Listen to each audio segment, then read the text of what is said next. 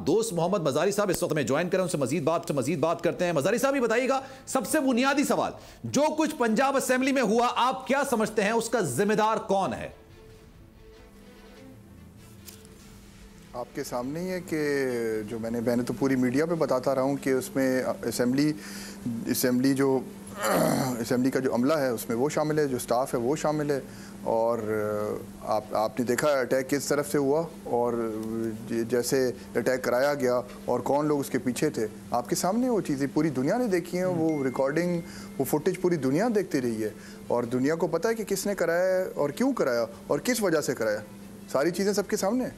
आपको लगता है, सर, ये सब कुछ प्लान तरीके से हुआ? पहले से डिसाइड किया गया था कि मजारी साहब आएँगे हाउस को चलाने की कोशिश करेंगे तो फिर इस तरह से हमला किया जाएगा।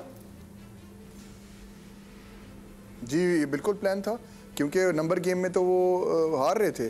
और उनका यही प्लान था कि वो केओस फैलाएँ लड़ाई झगड़ा हो वहाँ पे मार कुटाई हो खुदा ना खासा कोई मर जाए वहाँ पे और उसके बाद उसको फ़ायदा उठाए ताकि सिस्टम बिल्कुल ख़त्म हो जाए। हम्म। अच्छा सर एक बात ये भी है इस वक्त लोग ये पूछते हैं चीमा साहब कहते हैं भाई वज़ीर अला पंजाब घर जाएँ जो कि मुंतखब हुए हैं उन्होंने हल्फ नहीं उठाया। जनाब शमजा शबाज कहते हैं गवर्नर साहब घर जाएँ तो इस वक्त कौन किसको भेज रहा है और क्या मामला ये सुप्रीम कोर्ट में जाएगा? सुप्रीम कोर्ट डिसाइड करेगी किसने घर जाना है। मेरा ख्याल है कि हाई कोर्ट ने डिसाइड करना है ये क्योंकि गवर्नर साहब तो हल्फ देने के मूड में नहीं है। हम्म। और वो उस चीज़ को प्रोलॉन्ग करते रहेंगे। और इसमें कोर्ट को इंटर, इंटरवीन करना पड़ेगा और कोर्ट के जो ऑर्डर्स होंगे फिर उनको मानने पड़ेंगे।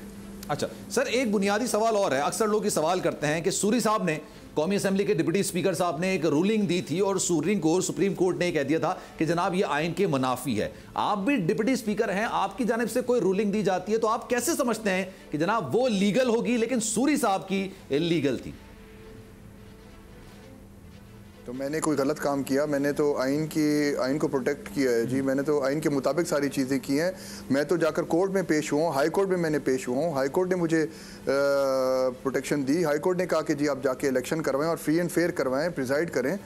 और बाकी जो चीज़ें आपके सामने हुई हैं जो हुई हैं।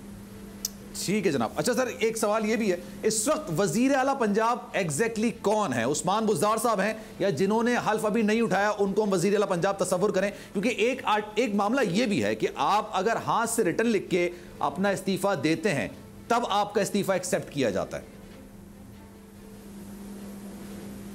तो उन्होंने इस्तीफा उनका उन्होंने दे दिया था वजार साहब ने इस्तीफा उनका एक्सेप्ट किया गया। नहीं है। और उसके बाद ये तमाम प्रोसीजर अडॉप्ट किया गया। Elections hmm. के लिए असेंबली का सेशन बुलाया गया। डॉक्यूमेंट नॉमिनेशन पेपर्स जमा कराए गए।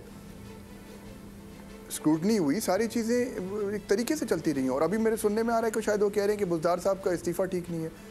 मैं कहता हूँ कि पूरे पाकिस्तान को this is joke of the century अच्छा लेकिन वो मैं जब आप ज़िक्र कर रहे हैं ये बात हो रही है ये बहस हो रही है डिबेट हो रही है क्योंकि उन्होंने जो ए, अपना इस्तीफा पेश किया है वो इस तरह से है कि जनाब आपने कंप्यूटर पर टाइप किया और आपने गवर्नर को दे दिया। आपने और गवर्नर को भी नहीं दिया उन्होंने वज़ीर आज़म पाकिस्तान उस वक्त इमरान खान साहब को दिया था। आपको गवर्नर को देना चाहिए था पहली बात। दूसरा वो हाथ से लिखा हुआ होता है। इसकी कुछ तशरी करेंगे सर आप?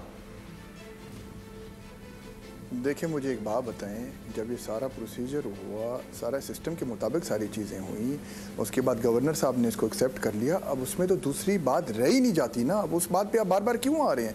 इसलिए तो मैं कह रहा हूँ ना it is joke of the century subscribe करें और बेल दबाएँ, ताकि कोई खबर रह न जाए।